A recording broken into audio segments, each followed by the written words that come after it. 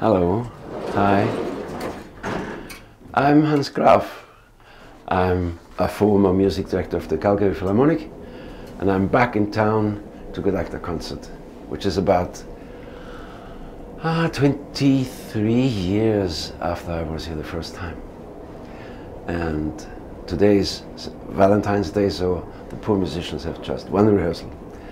And we are playing a very interesting program, interesting because that's the symphony I conducted when I conducted the orchestra first time as music director.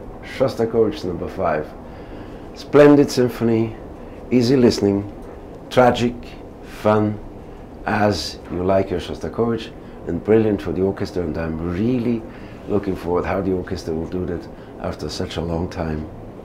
They have been strongly improving over the years, I feel, and I'm curious to get the taste of that in the next couple of days. So Friday, Saturday, if you want, come to this concert and enjoy the orchestra.